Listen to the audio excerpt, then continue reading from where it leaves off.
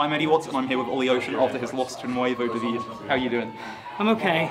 Um, look, he's, he's a great competitor. I didn't expect as much as he gave, you know, being very new to the game, but yeah, fair, fair play.